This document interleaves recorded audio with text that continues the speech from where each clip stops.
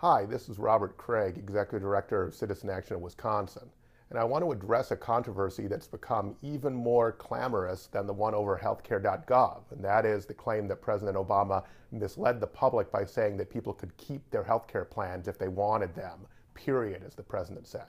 Now, I entirely agree the president overstated this promise. He certainly meant it for most people because most people who have almost all people have insurance at work who have good health insurance right now, and those people, nothing changes for them. Uh, what the current controversy is about is the individual market where people buy insurance on their own.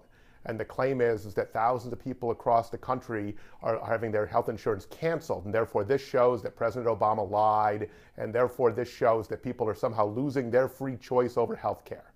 And the people who are making this claim, right wing talk show hosts, other conservative ideologues, what they are not pointing out to people is that the individual market is literally the, a, a market based on discrimination.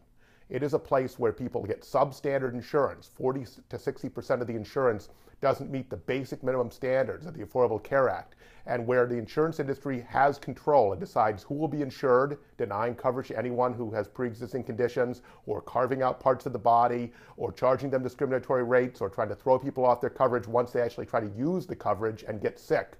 It's a place where there is exploitation and abuse and where people's rights are violated all the time, and in which people do not control their own healthcare decisions, insurance companies do.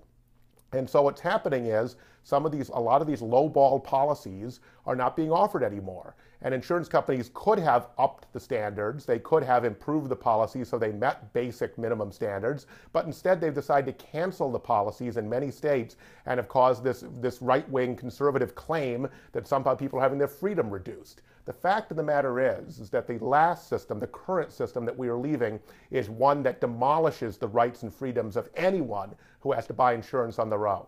There are 1.3 million Wisconsinites who have pre-existing conditions that would almost certainly get them denied coverage on this individual market, this place conservatives claim is a place of freedom.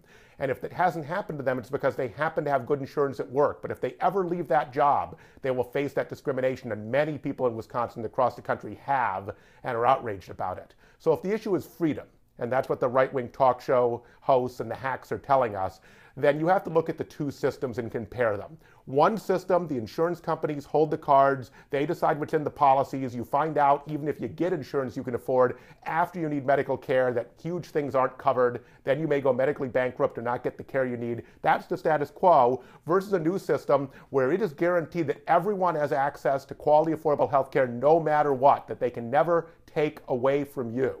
And so the right wants to make this about freedom, bring it on. If the right wants to make it about uh, President Obama over promising, that's not a good thing. That does not in any way compare to what we're talking about here. That is people who have asthma, people with diabetes, people who are cancer survivors, being denied coverage, being thrown off coverage, being denied basic human rights that everyone ought to have no matter what. So if it's about freedom, I say to the right, I say to all the critics of the Affordable Care Act, bring it on, because the new system guarantees that people decide and people have choice of good insurance, not their vision, which is somehow people are deciding to have substandard insurance doesn't cover anything because that's all the insurance they need. That's not what's happening. What's happening is that's all they can get from the insurance industry if they're lucky enough to get it at all. So I think if this is about freedom, I know who wins. Healthcare reform wins. We must move forward. We must implement the Affordable Care Act, and we must push through all these people who don't even want anyone to have a right to access to healthcare, who never wanted healthcare reform in the first place, and want to go back to an unethical and discriminatory status quo that no civilized country should settle for. Thank you very much. Keep up the fight. Go to our website citizenactionwi.org or our Facebook page and like us on Facebook, follow us on Twitter, and we will keep you informed on how you can stay in this fight and win guaranteed affordable health care for everyone in this country, no matter what.